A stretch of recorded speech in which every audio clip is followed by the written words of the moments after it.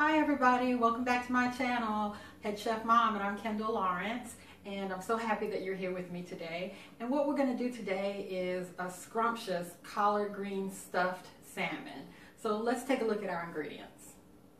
Okay, so before I tell you about my ingredients, I want to say that I accidentally said a collard green stuffed salmon, and it is turnip green stuffed salmon. salmon. And about my salmon, um, normally I've done this a couple of times and normally I have fresh salmon that I've gone to the fishmonger to get but um, I have been trying to do better about using everything that I have in my house in the kitchen in the freezer and I had these frozen salmon fillets in a bag and so I'm going to use two of them because they're too thin to slice open and stuff so I'm going to use two of them and put toothpicks in them um, when I stuff them. Okay, so my ingredients are my two salmon fillets. And of course, I said uh, it's better with a fresh, thick cut piece of salmon, but this is what I'm using because I had it. I have, uh, for spices, I have some smoked uh, paprika. I have some garlic powder. I have some sea salt and I have some black pepper. I have some uh, fresh cilantro that I chopped up. I have some Italian seasoning. I have some heavy whipping cream. I have some sour cream some uh, fresh turnip greens that I had that I cooked a couple days ago. And whenever I cook greens fresh I put them in freezer bags and I freeze them to have with another meal. You can certainly use frozen ones. I have some Gruyere cheese some cream cheese some butter and a lemon. So um, I'm going to uh, go ahead and grate up my Gruyere cheese and then we'll come back and we'll make the filling so for the filling, I am going to start with um, a quarter cup, well, no, actually I'm going to start out with eight ounces of room temperature cream cheese.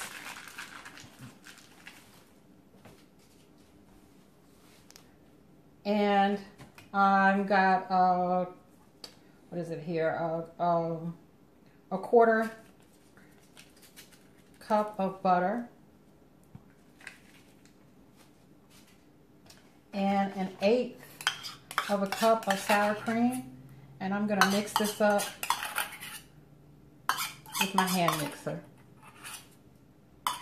I've got eight ounces of my softened cream cheese, an eighth of a cup of the sour cream, quarter cup of butter, and a quarter cup of heavy whipping cream. And I'm going to use my hand mixer to mix this up.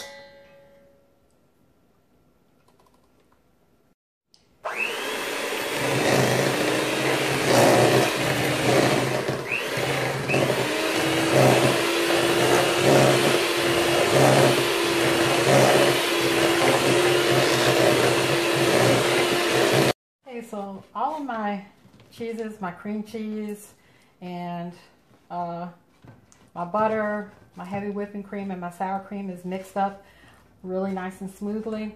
Now I'm going to add my Gruyere.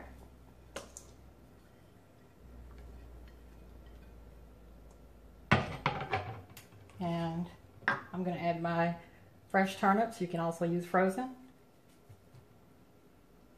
and I'm going to add a bit of cilantro. I'm, I'm not big on a lot of cilantro, so I'm not going to have too much of that in there to taste. And get it all incorporated. Okay, so we've got everything all mixed up for our for our filling, and for the purposes of the video, I'm just going to do one. So I'm going to spread some filling onto one of the pieces of fish.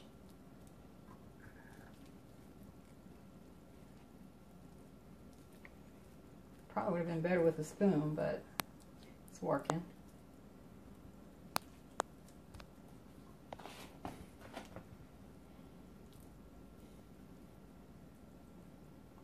And it doesn't matter if it oozes out. That kind of makes it even more yummy. A nice good layer of it there.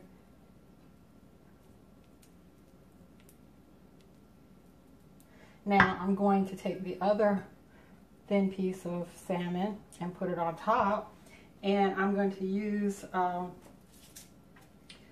toothpicks to secure it. And then we're going to get it into a cast iron skillet for about a minute and finish it off in the oven. Okay, so I have my my uh, salmon fillets stuffed with all of my um, turnip greens and cheese mixture and I started it out in a cast iron skillet and I'm only going to have it in the skillet for about one minute. It's been almost that now and then I'm going to uh, put it in the oven on 400 degrees um, for about 15 to 20 minutes or until the fish is completely done and flakes nicely. And then we'll come back and we'll take a look at the final result. Okay, so here is our uh, turnip stuffed salmon straight out of the oven. So it's still really hot.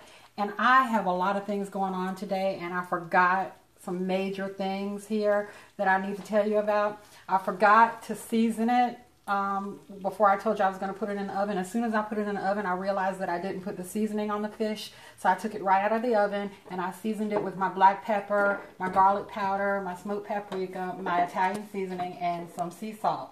And I also think I told you when I talked about my ingredients that I had uh, some garlic roasted, roasting in the oven. And the, the roasted garlic was supposed to go into the uh, filling mixture. And I forgot that, but I'm certainly not going to let this wonderful roasted garlic go to waste because at the end of this, while the pan is still hot, you're supposed to make uh, a really quick pan sauce. So I'm going to go ahead and just squeeze my roasted garlic out around in the pan. And we, I roasted this in the oven on uh, 350 for about 30 minutes and it's caramelized and it's just yummy and delicious. And so I'm certainly not going to let that go to waste. But normally this would have gone into the sauce. And I was just, I've got so much on my plate today. And I was rushing, but I really wanted to make this video for you. So please forgive me. But remember the roasted garlic goes in there and that you season it with the seasonings that I listed um, before you uh, um, put it in the oven. So I'm going to make a really quick sauce while the pan is still hot. The, uh, the eye is not on. It's just come out of the oven. So I'm putting lots of butter in the pan. And I'm going to put some white cooking wine. Is that in the shot good? Some white cooking wine in the pan to make a nice little sauce. And I'm just going to kind of move it around until everything melts. And then I'm going to put it on a plate and give it a taste. Okay, so Here's the final result of our turnip stuffed uh, salmon. I think it looks absolutely marvelous. Um, I, I uh, put the sauce over it with that included the um, pats of butter and the white cooking wine. Use um, regular white wine. I just didn't have any on hand. So again, I'm using what I have in the house. So if you don't have any um, white wine, use some uh, white cooking wine and I squeezed in that lovely roasted, that whole head of lovely roasted garlic. And so I'm going to take a, ta a taste right now. So I'm going to have my husband take a taste, and I'm going to take a taste after him. See what the result is. Let's get some of this good cheese. Here you go, Frank. Hot. What do you think? Tastes good. That's a good taste? combination. What are you tasting there? The cheese and the um, garlic and the fish, it all melts together very very nicely. Mm. That is heavenly. It's good. Whoa, that's like. It's restaurant quality. An up, yes, restaurant quality. I taste the lemon, the smokiness from the paprika, the turnip greens are so, more subtle than collards, but you can use collards, kale, spinach, the turnip greens, the cheese combination, the creamy Gruyere cheese. It's wonderful. Wow, this was a wonderful recipe. And this was actually economical because I used the, the bag of frozen uh, salmon. Just have to use two pieces. That's great. I can't wait to dig into this. Wow, please give this one a try. That recipe turned out fantastically. Um, this is the first time that I've done it with the frozen uh, salmon fillets, but it was great. The combination of flavors is outstanding. Please try this. I highly recommend it. You will love it. Um, I'm so happy that you came and visited with me today. I hope you comment and um, like, subscribe. Please subscribe and um, share my video and let me know if there's anything that you'd like me to cook or any questions that you want to ask me. I'm, I'm happy to do stuff like that. So have a, a great weekend um, and go feed your family. Bye-bye.